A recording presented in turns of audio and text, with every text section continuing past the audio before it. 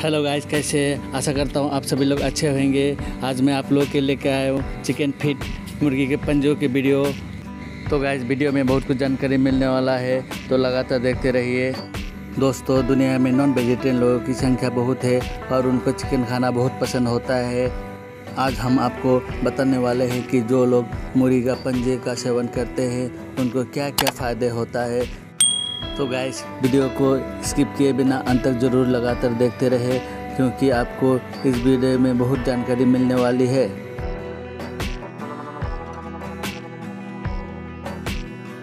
Guys हम chicken feet को बेकार का अंग मानकर फेंक देते हैं यूज़ नहीं करते हैं, परंतु कुछ इलाकों में, जैसे मैक्सिको, साउथ अफ्रीका, जमैका आदि में चिकन फीट को एक प्रोत्साहित खाद्य पदार्थ माना जाता है। चिकन फ़ीड में कोलेजन होता है, जो कि आपके स्किन के लिए बहुत ही अच्छा रहता है। यह आपका स्किन को हाइड्रेटेड रखता है और लोचक बनाता है।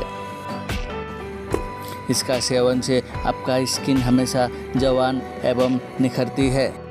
यह हाइलोरेनिक एसिड को बढ़ाता है, जो आपकी स्किन के लिए बहुत ही अच्छा एवं उपयोगी एसिड है। कोलेजन से आपके जोड़ों का दर्द में भी आराम मिलता है। यदि आपको गठिया या जोड़ों में दर्द रहता है तो आपको चिकन फीट अवश्य खाना चाहिए। कोलेजन से आपके टिश्यू दोबारा से बनने लगते हैं, जिसकी वजह से शरीर में गठिया का लक्षण कम हो जाते हैं। क्या आप जानते हैं कि चिकन फीट का प्रयोग करना आपके ब्लड शुगर को नियंत्रित करने में भी काम आता है।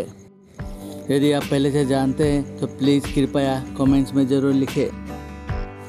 यह आपका शरीर में एक हार्मोन को एक्टिव करता है, जिससे इंसुलिन का उत्पादन बढ़ता है।